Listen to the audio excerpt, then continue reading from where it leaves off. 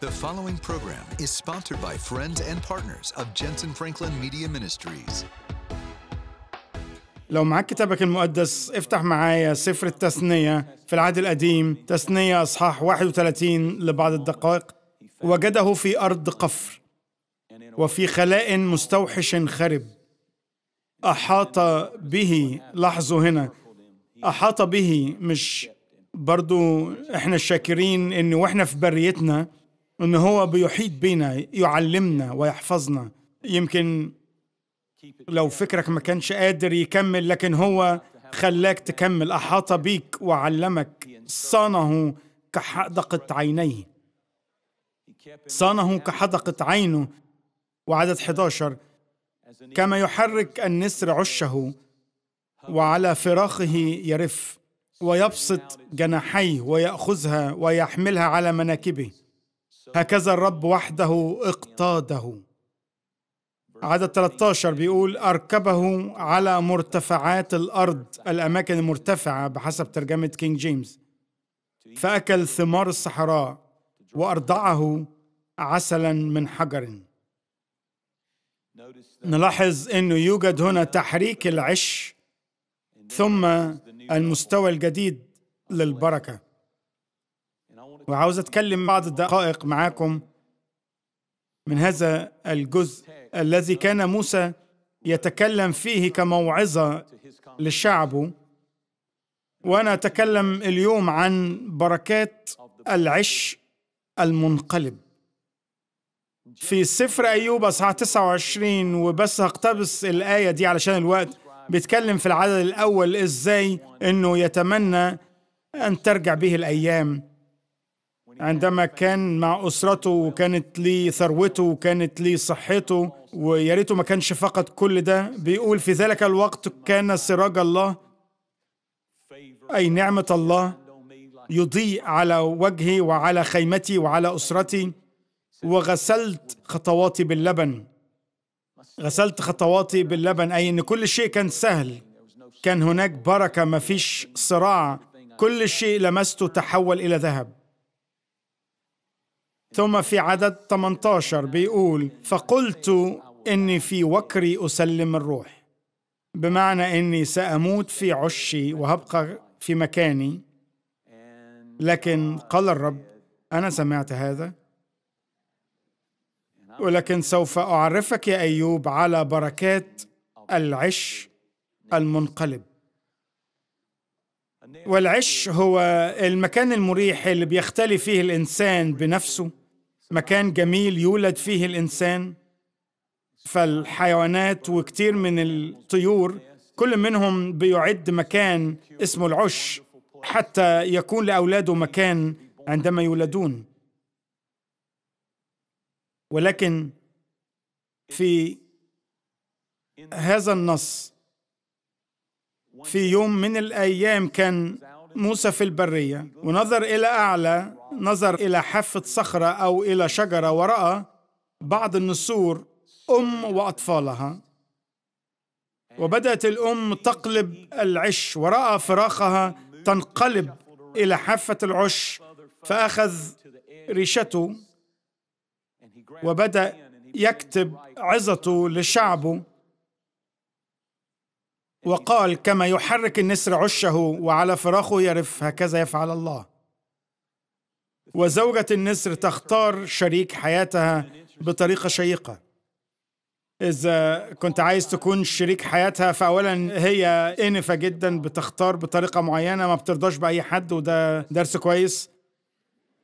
بتاخد فرع صغير وهي بتجيز شريك حياتها في امتحانات كتيرة وترتفع بالفرع إلى 15 ألف قدم ثم تترك هذا الفرع يسقط وبيجي النسر الذكر وراءها بيحاول لفت انتباهها بينما هي تتجاهله ثم تترك هذا الفرع الصغير يسقط.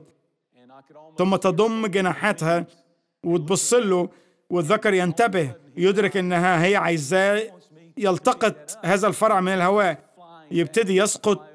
يبدأ في الطيران إلى أسفل والنسور تستطيع أن تطير بسرعة 200 ميل في الساعة. يلتقط الفرع ويرجع لها. ثم تذهب هي وتختار فرع أكبر وتختار واحد من الفروع الكبيرة نسبيا وتطير مش ل 15 ألف قدم لكن تقريبا ل 5000 قدم. ولما يجي النسر الذكر محاولا إنه يظهر قوته.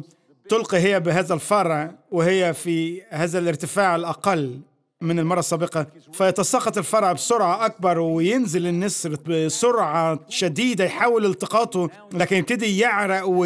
لأنه تقيل عليه ويتساقط عرقه ويبقى منهك جدا. وبعد كده للمرة الثالثة تختار فرع أكبر تطير على ارتفاع 500 قدم.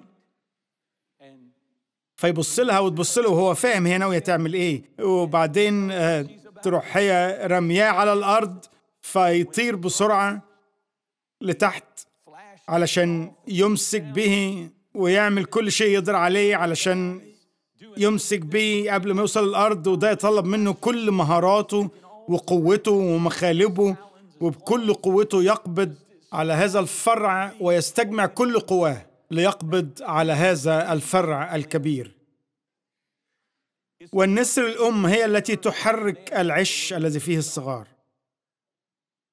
ولكن الأب هو الذي يدور حول العش وهي التي الآن تمتحنه حتى عندما يأتي الوقت الذي فيه تحرك العش ويبدأ الفراخ في التساقط منه متقلبين في الهواء متجه لأسفل فإنها تمتحن لتعرف إن كان هذا النسر الأب يكون قوي والسريع وقادر أن يلتقطهم قبل أن يسقطوا إلى الأرض ويموتوا أنا عاوز أقول لكم النهارده إنه إذا كنت أنت تشعر أنك تتساقط في الهواء وأن العش كله يتحرك وينقلب وتشعر كأنه لا يوجد أرض تقف عليها وإنك ساقط في الهواء إلى الأرض أنت تحتاج أن تعرف أن هناك أب يستطيع أن يطير أسرع منك وقد تكون ساقط ولكنك لن تهوي. قد تكون متروك من الجميع ولكنك سوف تجد يد الأب الحنان تمسك بك وتحملك وتأخذك إلى أعلى إلى مكانك. فلا تفقد ثقتك.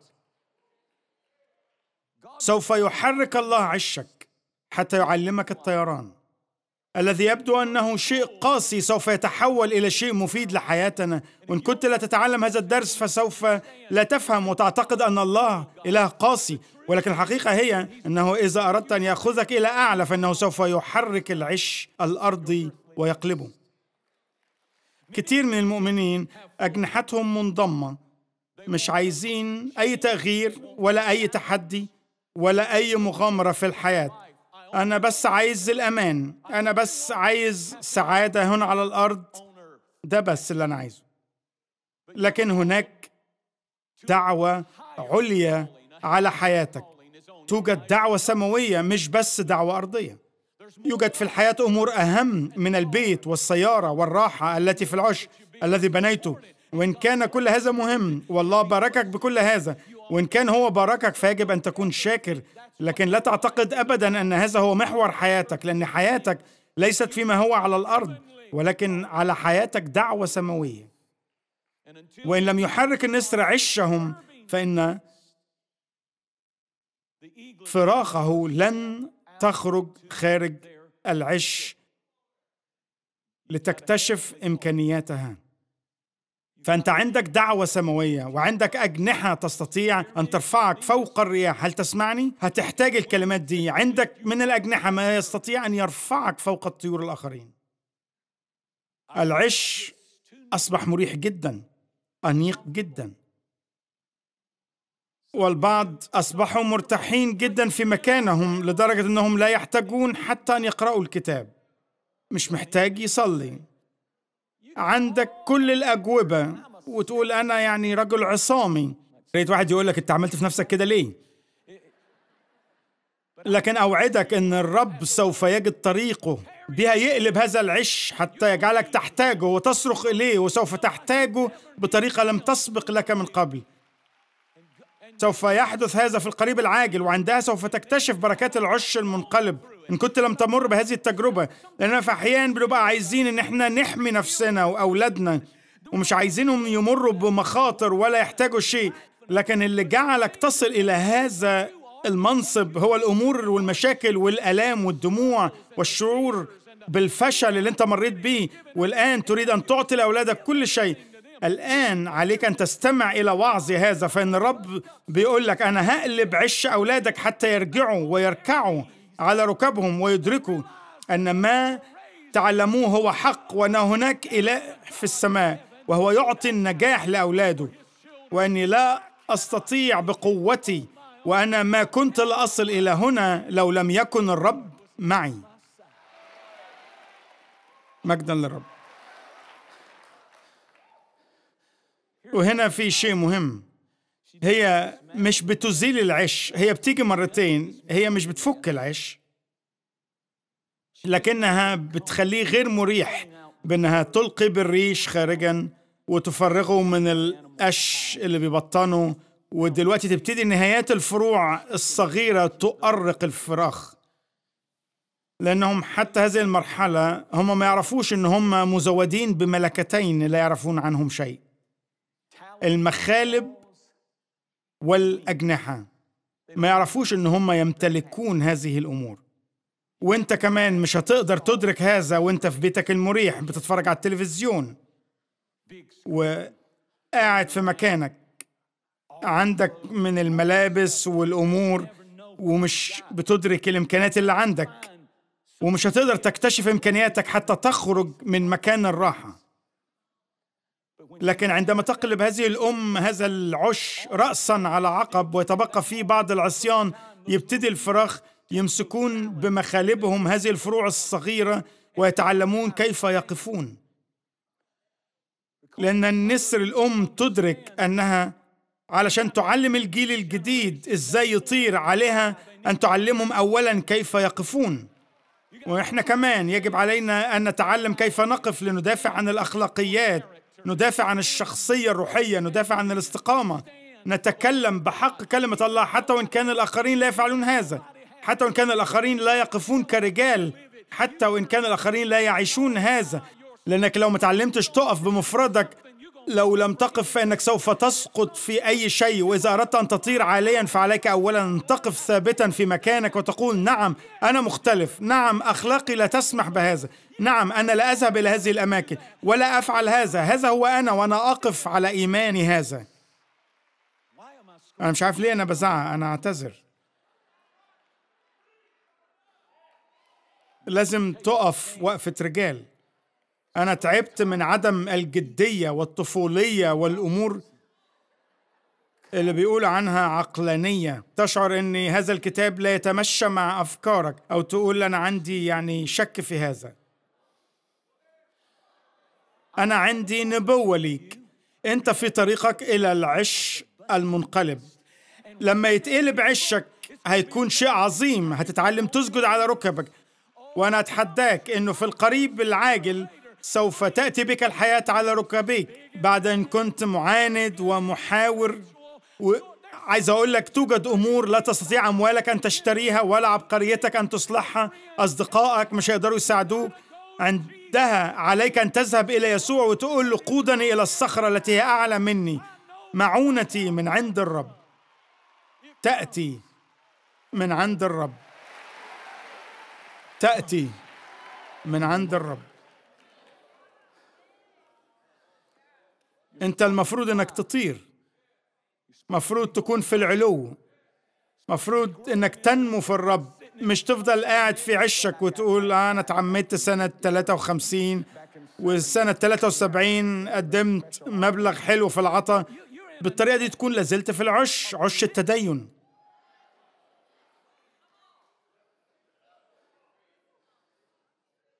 فكر في فراخ النسر وهم يبتدوا في السقوط والتقلب في الهواء يظهروا كأنهم أغبياء.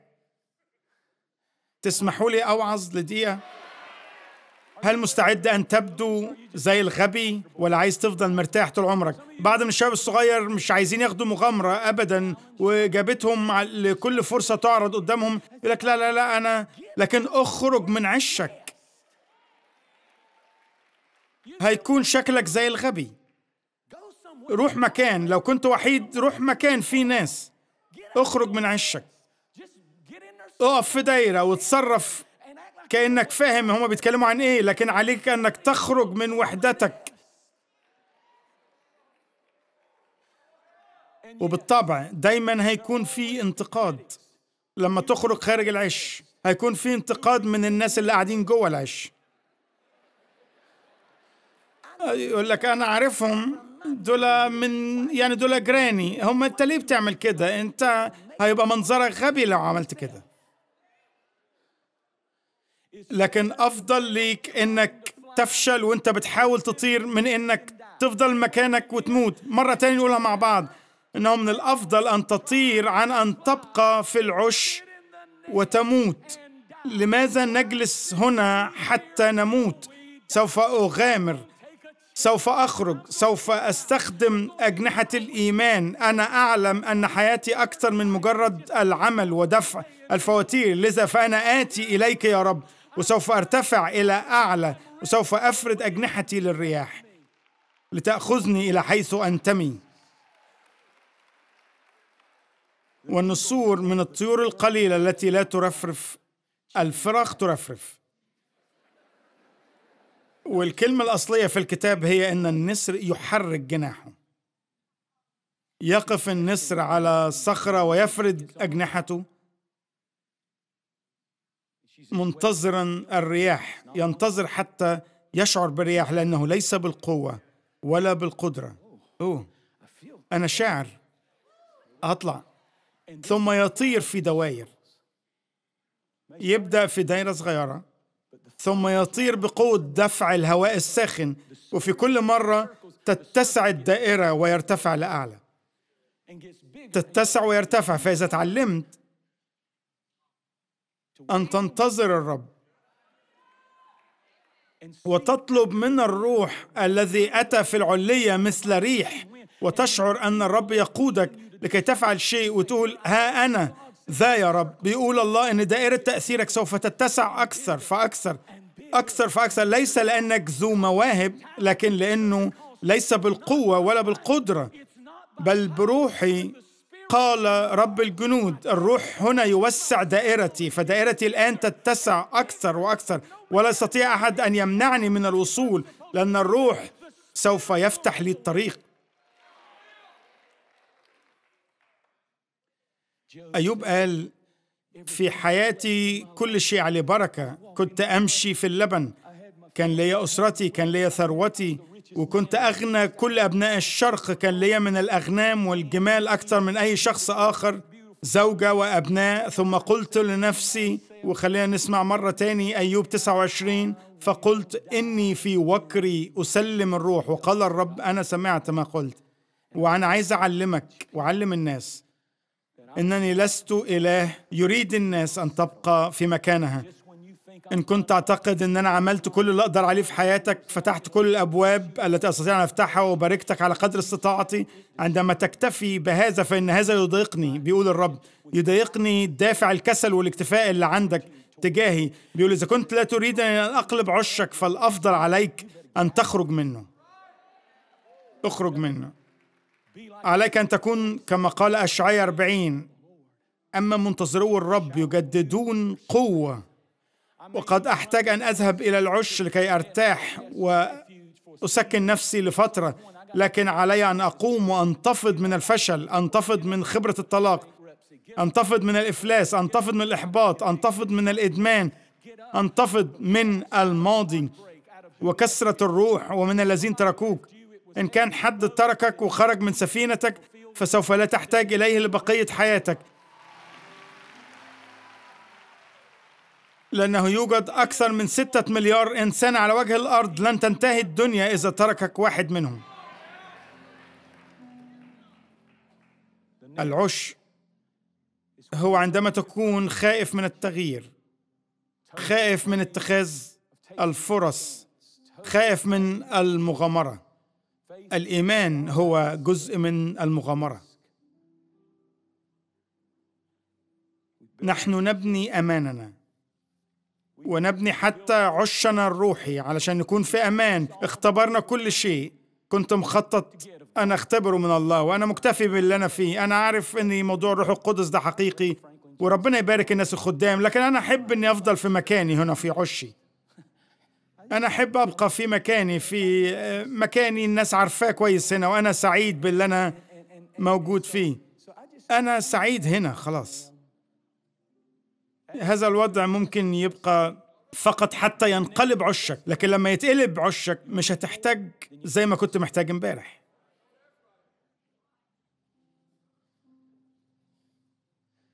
بيقول في عبرانيين 12 أن الله يستطيع أن يغير كل شيء. الله غير مديون لنا بشيء لكن نحن مديونون له بكل شيء. الله لا يدين لك بأي شيء. مش يعني مديون ليك عشان يدي لك حياة جميلة وأسرة جميلة. تقول الرب ما أعطانيش. الله غير مديون ليك بأي شيء. هو بذل ابنه أنت مديون له بكل شيء. عشان كده لماذا لا تثق فيه؟ البعض منكم يعتقدون إنهم يحتمون داخل هذا العش المادي وإنهم الآن لا يحتاجون إلى معونة الرب. لا خلي بالك. نحن نحتاج إليه لأننا نحن نطبع أوراق بينما هو يطبع الذهب. فلا ننسى ابدا إنه لو حياتك في بركة فاشكر الرب على هذا. يجب عليك أن تكون أول من يسبح الله أول واحد يسبح الله مش الشخص اللي هيفقد كل شيء ويجري ورا الرب لكن الشخص اللي يجب أن يكون هو أول من يسبح الله هو اللي عنده بركة في حياته. أنت في موسم البركة. ولازم تأكد إنك قلت للرب إني فرحي مش مني لكن فرحي هو منك. عشان كده ايا كانت البركات اللي هتباركني بيها لكن يعطيك أنت التسبيح والشكر والكرامة والمجد. This program has been sponsored by friends and partners of Jensen Franklin Media Ministries. We hope you've enjoyed this teaching by Jensen Franklin and thank you for your continued support of this ministry. Your prayers and financial support make these programs possible. For more information about this message and other ministry resources, visit us online at jensenfranklin.tv.